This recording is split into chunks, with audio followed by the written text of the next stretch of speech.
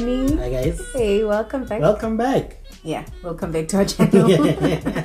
You've made it to episode 2 Mhm. But we want to start off by saying thank you so Yes. much for Yes. the engagement. Yes, for the feedback. Yeah, that was amazing. Yes, That was amazing. The conversations are starting. Mm. Um, Thanks for the encouragement as well. Yes. And also, what's so exciting is that a number of people have actually um, let us know that they're also on a debt free journey, Mm-hmm. which is fantastic. Mm. So we can do this thing together, we can win together. Yep. I'm just so excited. I'm so excited. So please keep it up, guys. We're really, really just Yeah. feeding off it. It's amazing.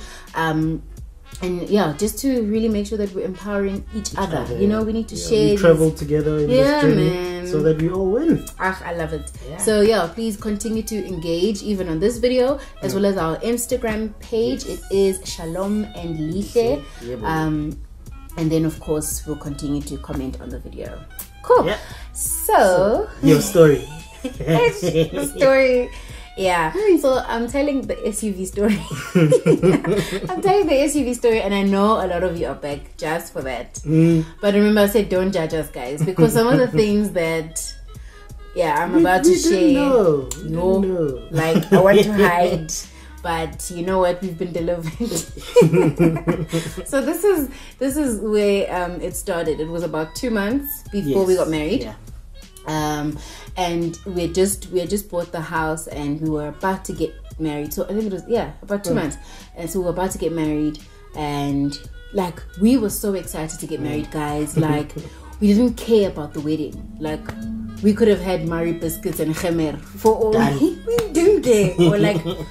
Or like no, but we are getting married. Why must we spend money on everyone else? You know. And this was before our date-free journey. But we were just like, let's get married, and we were excited because our vision for us. I think that's one thing that fuels us um, Yes, for our marriage. yeah. It fuels us a lot, and so we just wanted to get things going. We're like, let's go for it, man. Um, and so after buying the house, we thought, let's just, you know, complete this picture. Let's put an SUV, you know, in the garage, and then ta-da! You know, All things new. yeah, all things new in the new year, you know. So yeah, we bought a car. And for me, the biggest motivation was getting rid of his car because his car was horrible, guys. Yo, Hey, uh, it was nice. It was just sick. it was a very sickly car. Almost paid off car. yeah, that's true. Don't say that. it hurts. So we took an almost paid off car and traded it in for fresh, brand new, credit. debt. Mm. So nice, guys. So that's what we did. We went to uh, well a dealership, and we got our car. We got we bought an EcoSport, very nice car. Well, you know, yeah. yeah, for a family, for a young family, we thought this is great. You know, SUV but not too big. You know, it's nice. He wasn't keen on it. He was like, Yeah. "But this is a mom car." But I was I had like, a table car. no, yeah. we were like, no, this is great, guys. And so, um, yeah, we got it. And like I said, we were so excited. We didn't consider the numbers. Yeah. The numbers that we didn't consider were interest. And to our surprise, like a year later, we realized that this car has a balloon Which residual. the whole time we thought there wasn't a balloon loaded on it. yeah. And that lady probably told us that there's a balloon. No, but we were too But busy. We were like, oh, we're so no, in don't love. care, We're getting let's go sign. married. Yeah. Yeah. So we just signed and took the car and left, and yeah. So about a year after having the car, when we were we were already in the in the debt free journey, and that time we were like intentional, like proper, and we were interrogating every statement that came in from whichever bank, and we were like, what? This residual? Oh my gosh. And then another thing that shocked us was that um, at the bottom of the statement they have um, the, the amount that they deduct from your account Mm. and then they split it into two showing you which portion goes to the interest and which portion goes to the capital and when we saw that hey Yeah. guys at that point we were paying about 5000 rand for the, the, the, the, the car Mm. Yeah. and 2.2 roughly 2.2 was going towards the capital Mm. 2.8 was going towards the interest. And this is a year later. So This is can you imagine when it started? It yeah, it was like- probably even higher. It was way, guys, guys. Can you imagine paying 2.8 for just the interest? I mean, what? Mm, So that's what we were doing. And by the time we realized this, we were so focused on getting rid of debt. We were like, "There's no way this does not make sense." That's true. Yeah, and I think the really important thing that we, we realized at that point is that we actually weren't using the car that much. Yes. Like Yeah. that car, we were always together, so we always travel in one car. Mm. So at that point, there's always one car in the garage, and it was just for work. Mm. And so we just sit the whole day. It just didn't make sense. We didn't need it. So it was at that point that we decided, no, we're getting rid of this car. Mm. We don't need this car. We're paying way too much for it. And yo, that was difficult, guys. Uh, black people will know this this term. Bazothini abantu, Yeah. abantu bazothini. that is a syndrome. It's an actual syndrome. It's not mm. an actual syndrome, but it's a thing, guys. Because Yeah. you think. Let me translate it. It means what? What are people gonna say? Mm. Because now we've sold them a picture, mm. and then now we are downgrading. Yeah. So now, what does that mean? What Or are they now poor?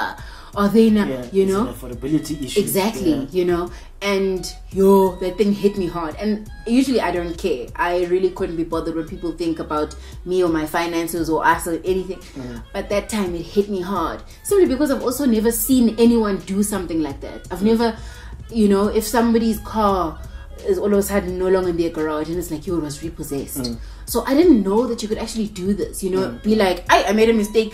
Please Yeah. take your car back. Yeah. You know, I didn't know that you could do that. And so I knew that people wouldn't know that that's what we did. People would think it was repossessed, you know? Mm. So I all of a sudden had all these things confronting me. But thank God that the commitment to the journey was stronger than those fears. Yeah. That I was just like, it's fine. The car's Let's gotta go. go, you Yeah. know? And so we sold the car. And I think what the importance of this thing is that this journey is serious. Yeah. This journey is so serious. And to us, it's so, so, so Mm. serious because we, we kept envision and we continue to envision ourselves just having no debt. Like, Yes, yeah. can you imagine what you can do with your money when you don't have Exactly, people yeah. dipping their fingers into your account, you know? So so we had to do it and it's not just about getting rid of debt that you have like oh clothing account okay let me close Mm. things off but it also speaks about getting rid of things that you have no use for and things that are setting you back and that car was a huge setback Mm. It to was. Mm. us it was going to be a massive massive massive loss in the long term because paying 5000 rand a month for about 6 years Mm. and then paying the residual at the end of that 6 years because you still have to pay Yeah, it you still have to pay that. you must still pay that residual for a car that would have depreciated like this. Yeah, that's how cars depreciate. Yeah. The road that doesn't had pay. depreciated. It had already. it had already.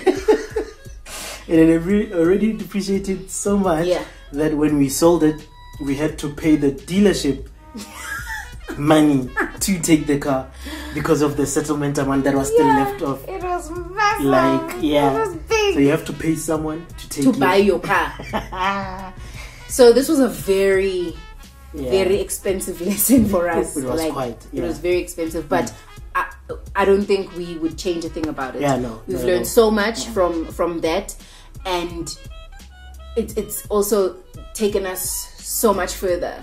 Yeah, um, having gotten rid of the car, yeah. like it was so good for us. So, so I'm happy we did that, and yeah, that's sort of where we we at, and um, it, things continue to get serious because that was just like one of the things that really for us like cemented the the gravity of, of of this journey. We were like yo i know we're not playing. And i think also then people like family members started taking us seriously because they sort of heard that yeah we're just trying something different something new. But when they saw us getting rid of the car then they were like eh?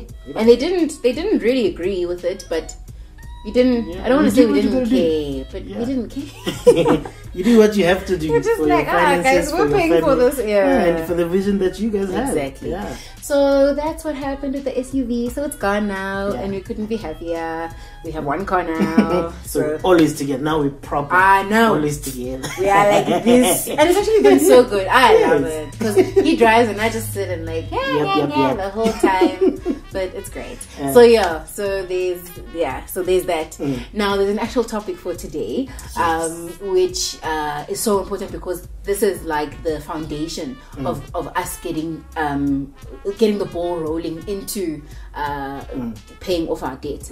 So before we could even start now plugging in all the cash that we had um, towards getting rid of our debt, we had to do two things that were very, very important. And I'll touch on on the first one, which is budgeting. Yes. Yeah, budgeting, budget like basic 101 budget, no fancy budget, just basic budget.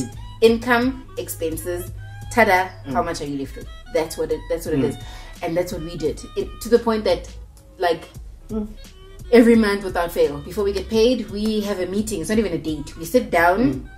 And we are partners in this thing. Eh? We sit down and we're like, okay, cool. So, mm-hmm. Mm-hmm. household expenses, Yep. This, Transport. that, yeah. ad hoc, what what, everything. We we have it listed. Um, I write it out because I'm old school. He's got an Excel spreadsheet because he's a nerd and he likes Well, IT things. and so we we do that, and and of course we don't like just write bread and starve ourselves because we're on a debt-free journey. Of course, we're people, so we want a Yeah, certain, certain level level, of- of, yeah. of nice things and comfort. But Nakona, we have we're very realistic about it as well, Mm. and we also don't want to splurge. So we Yes. make sure that we keep things nice and tight to the point that now we know the budget. Like Yeah. like wake me up at two, I'll sing the budget now. I know the budget. And I know if we're five rand short, like that's Mm. how much you need to know your money. and it helps also with our dynamics, considering the fact that I'm a spender, so and you a saver. So having the budget does Oh, it does. It does. does yeah. really renovate. Yeah, Yeah. it does. It Yeah. actually makes such a big difference because the reason why we, we I mean, we, we don't fight about money. Mm. We don't we don't have any disagreements regarding money Mm. because there's a budget and and if he's like ah.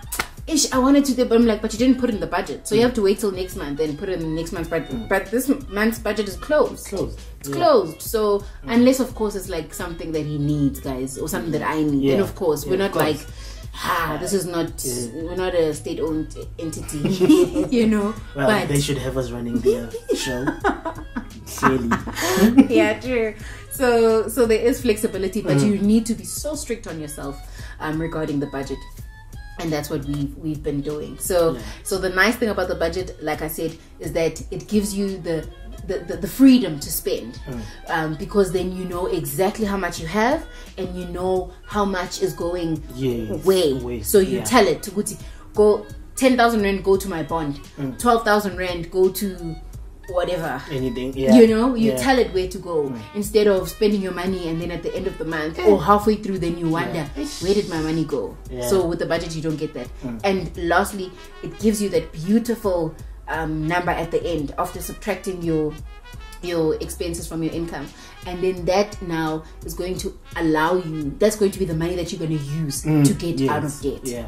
um, but before i get into that he's got something to say Well, yes. Before you, you have to start with baby step number one. yes yes yes, That's where all things start. And um, just a little bit of background. Um, this program that we using or Mm. used um, is from Dave Ramsey's Financial Peace University, Mm. and it's basically seven steps um, on how to get out of debt, stay out, and to flourish with your money. You know. Um, but it's a, an American thing that he had written it or Yeah. created it for the American market. Yeah. So we've had to adapt it for ourselves for the South African context yeah because we have to take into consideration black tax. yeah we have to take into consideration history yes and everything else that comes with being a South African, Mm. essentially. and probably money behaviors are different like yes, if you compare south african ones to american ones and all of those things so we Mm. Had to personalize this thing for yes, us for ourselves. Yeah. Yeah. So yes, back to step one. So step one essentially is having an emergency fund. So this is a lump sum of cash that you will use in case of an emergency. Yeah. Hence the term. So that you know um, when you're on your journey, if anything happens, you don't have to go dip back into your credit card. Yeah. Go get a new loan, fresh new credit. You know. No, you Yeah. can service whatever emergency, and this is small to medium sized emergencies Mm. that we're speaking about. So you can service that using the money that you know is yours. Yeah, You know? exactly. Yeah. um. So and it's actually, in fact, what happened with us is two months after we saved our emergency fund, yeah an emergency happened. yeah boo. We haven't had emergencies up until that Yeah. point. and as we finish, we get an emergency. So um, it goes back to when we were getting married. We're still excited. We don't know a lot of things about. nothing that you get excited too often yeah, yeah, yeah. So we buy a house, yeah and we don't we don't know everything about owning a house. i knew nothing I knew something at least. I so, um, well, I knew that we had to pay the bond. And Okay, I knew that. Yes, and then we had to pay the levies as well. Um, the rates, I, I knew about them. I just didn't know how touch and go. Yeah, it was touch and go. I didn't know how this thing worked. I assumed rates and levies the same thing. Pay one person, yeah. and then you're done. So it so it so happens that then we get the house, and our levies are covered for the year. Yeah. And my assumption is then because it's one thing that the rates are covered as well. Only to find out that no, our rates are not covered. So um, on a Friday, we chilling, just chilling on a Friday. Yeah.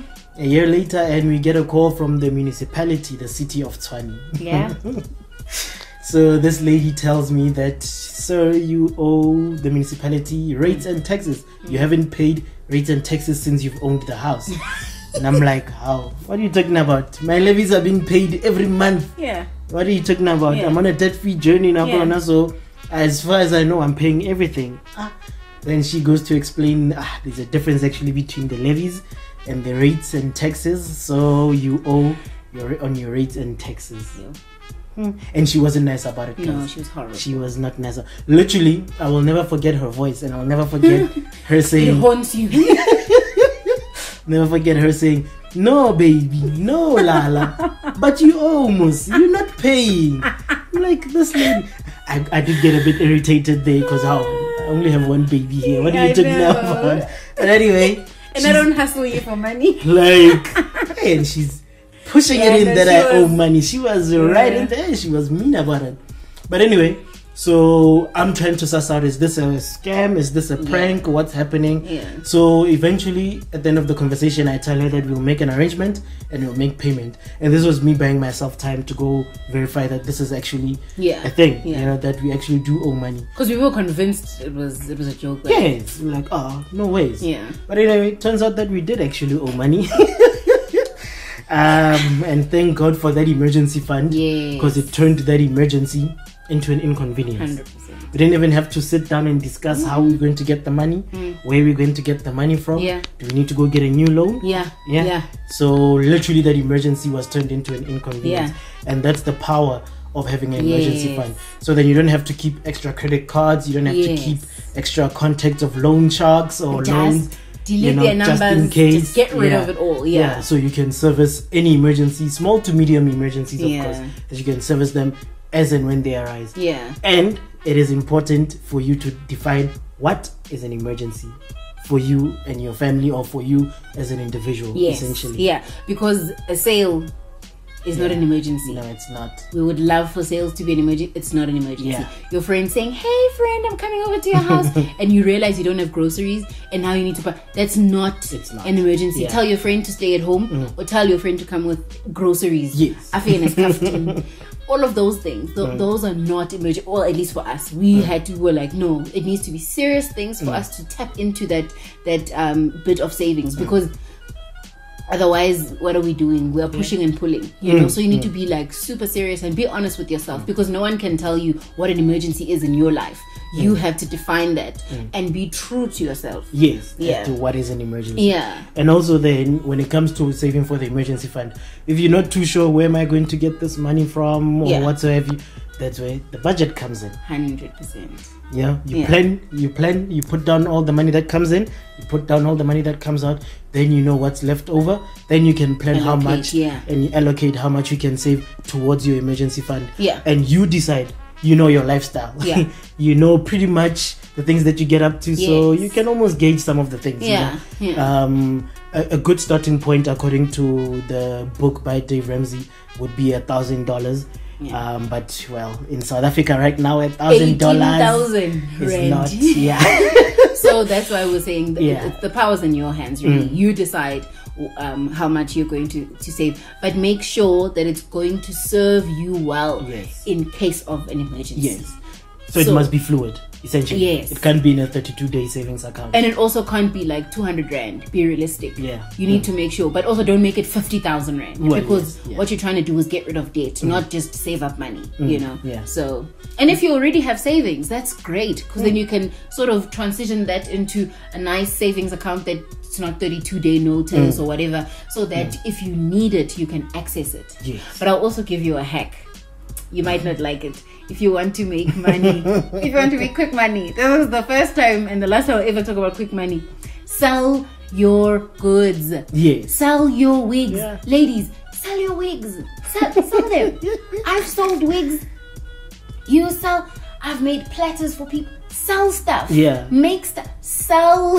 Anything and everything that has value yeah. that you can sell. You can Yeah. you can go to Cash Crusaders and things like that. If you have an old laptop, an old cell phone, Mm. like an old microwave, if guys sell it, Mm. and then you get maybe a thousand rand, you get maybe seven hundred. Throw that money. Yeah. Th- This is the time to declutter and Yes. get money into Yeah. your account. Yeah. So you can use those hacks. Mina, I'm I'm game. so so that's something that you can do to Mm. just help you get started because it's so important to have that cushioning Yes. because life is gonna happen, guys. You can plan to the T, but life is gonna happen. Yes. And when it does happen, make sure that you don't fall flat on your bottom. Mm. You have a nice soft cushioning to, to help you land so that you can get back up on your feet real quick. Yes. Okay, so yeah, so that is that it is for it. today. Yeah. Please make sure that you share, like, subscribe. You know the drill. Mm-hmm. And of course, comment, and we will chat more next, next. episode. Thank cool. you so much for Thank watching, you. guys. Bye. Cheers.